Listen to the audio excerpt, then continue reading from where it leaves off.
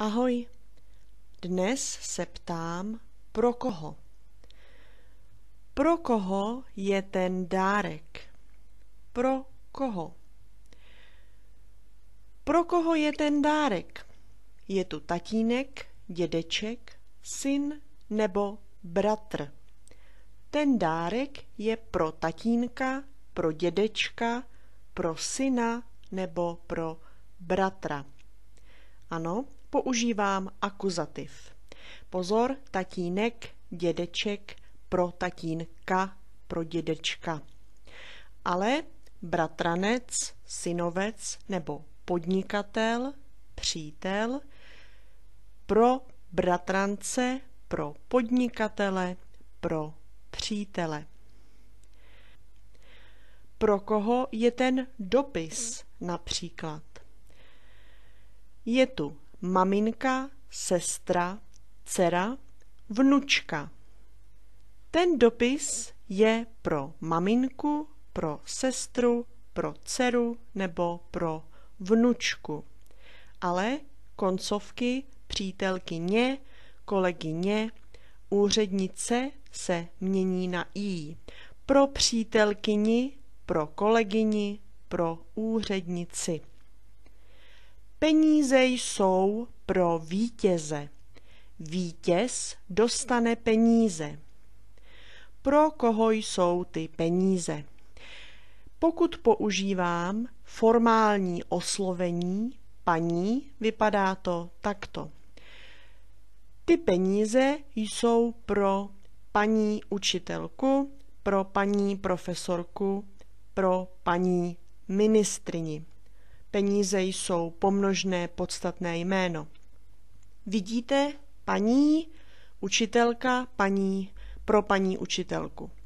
Ale v mužském rodě ta stejná otázka je tu pan učitel, pan doktor nebo pan ministr, tak peníze jsou pro pana učitele, pro pana doktora nebo pro pana ministra.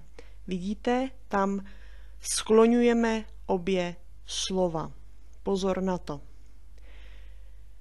Pro koho je ten velký balík? Ten velký.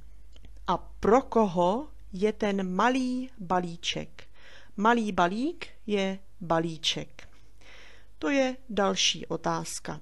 Pro koho je ten balík nebo pro koho je ten balíček?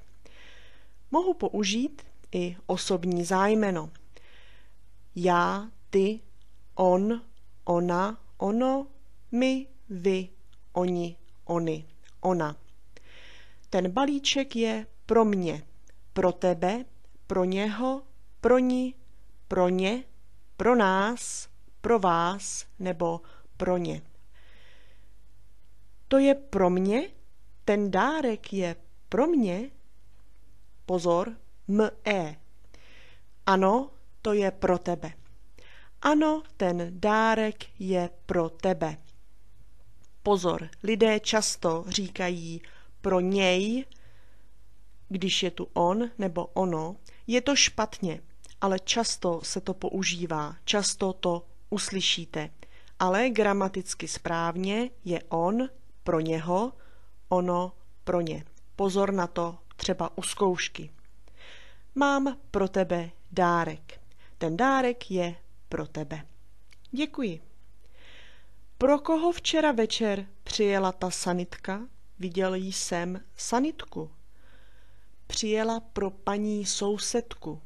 Asi měla infarkt. Ráno přijelo taxi pro manželku a odvezlo ji na letiště. Objednám pizzu pro nás oba. Pro tebe i pro mě. Pro rodinu by udělal cokoliv. Pro svou rodinu by udělal cokoliv. Připravili pro diváky zábavný program.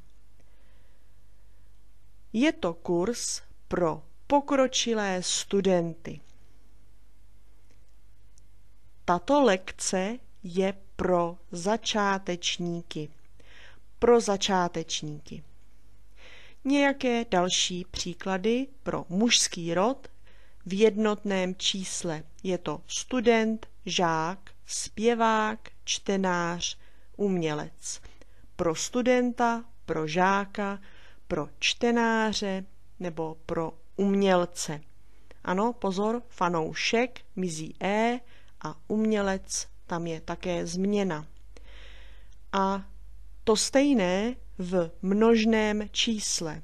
Jsou tu studenti, žáci, pozor, množné číslo, lidé, ne člověci, lidé, ano, ti lidé.